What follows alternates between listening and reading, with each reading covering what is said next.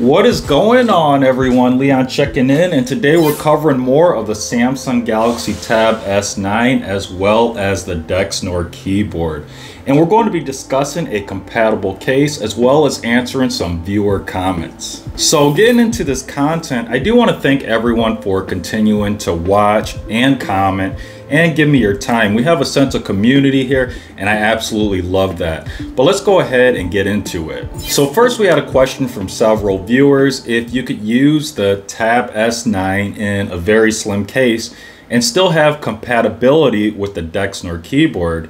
And after some investigation and of course some failures, I can finally confidently say yes. So here we have this setup actually in the works. We'll talk more about it in a moment, but I want to mention those viewers. I want to give recognition to those viewers for raising this question because it was obviously something I didn't think about. And these questions, these comments, they help guide the content.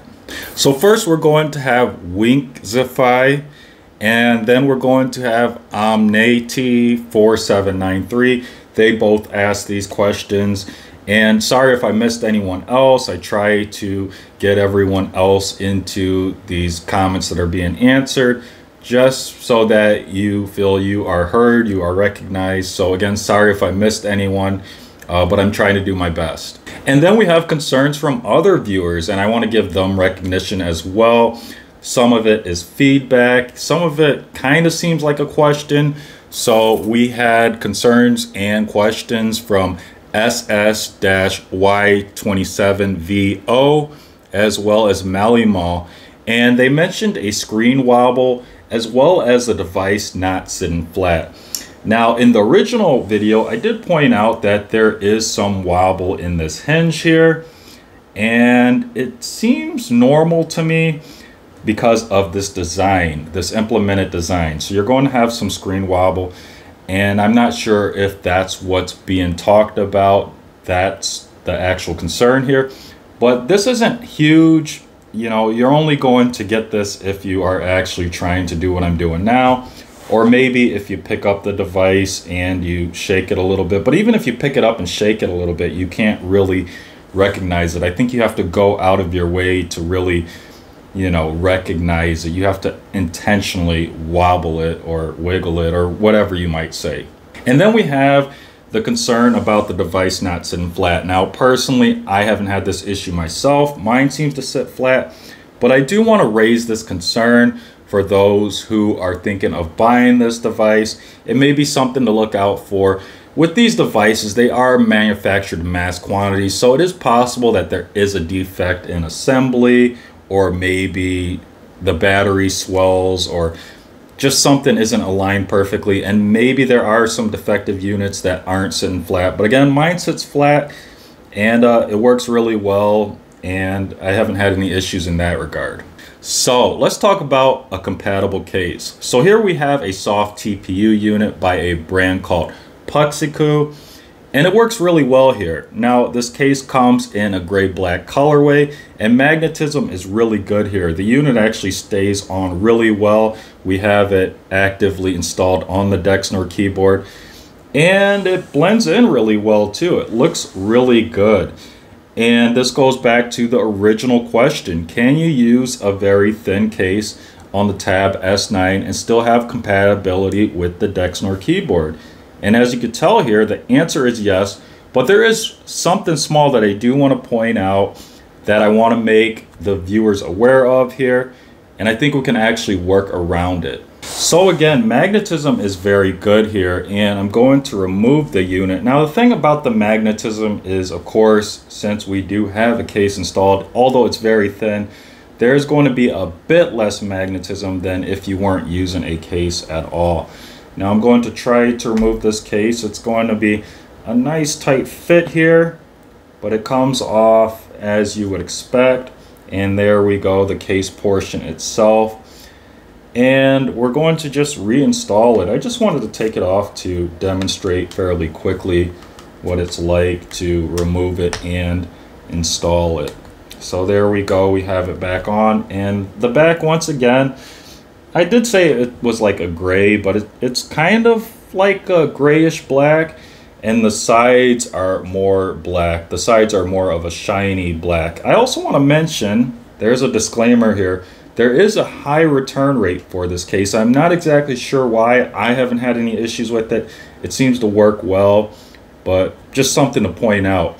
Now I'm going to attach it once again to the Dexnor keyboard just for demonstration purposes. Lines up very well there. And again, this looks really good. And you're going to have protection for your tablet if you are concerned with dropping it occasionally which is why that question was also important. So everything looks great, works great, so what is the con? Well, the slight con here, and again I want to emphasize slight, is because we do have a case installed, we do have a reduction in magnetism. Now, this all works fine this way, no issues here. Again, I could pick up the whole unit. I can kind of wobble it around a little bit. I wouldn't do any more than that because I don't want to make the hinge wobble like crazy. Uh, but because we have a reduction in magnetism, if you go to close this, sometimes a tablet drops off when closing it. I'm trying to simulate it, and of course I can't get it to do it now. There we go. So sometimes that happens. You could see that it doesn't happen often, but it is worth noting, I feel, because this is a part of the user experience. Now, I feel we can work our way around this by changing the way we actually close this unit. So what I've been doing is I pinch at the top here, which allows me to hold the tablet and the lid, and then I just hold securely and then I close it. That gives us a more controlled close. But what also is really nice here is you can see that once I close this, this is still usable. You can still have the case installed on the Dexnor keyboard and it closes flat. Take a look at that. It's perfect. It looks really nice and it works really well. Now again, same thing when opening it, you want to be intentional here. You want to hold the tablet and that's not the best angle really. I'm going to try this again. You want to hold the tablet more in the middle here and then open up so that you get a controlled movement there and you're holding the tablet in place. But you can see also open in it if you don't hold at the proper place because of the reduction in magnetism, the tablet might also slide off a little bit. And then there's another thing I want to point out here. If you are worried about the case getting scratched, there's no worry about that because this part of the Dexnor keyboard, it's not really soft, but it's not hard either. It's it's kind of it doesn't really have like a microfiber finish or anything, but I don't think it's going to scratch the back of your case. So just something else I wanted to point out as well. So overall, I'm happy with this kit. I love the way it looks. The functionality is pretty good. We just have that small con that I mentioned before, but is this a deal breaker for you? Let us know in the comments down below. I think personally I can work around it because this is going to give the tablet protection while still being compatible with the Dexnor keyboard. Again, we just have to be very mindful of how we close the unit and opening it and again, I'm doing it at the hardest angle here because normally I wouldn't open it like this. I would open it when the unit is facing me and that would make it easier to have more control here. But overall, it works really good. It looks really nice. It does the job. So that is it for today's content. As always, thanks for watching and may the universe flow in your favor. And until next time, Leon check in out.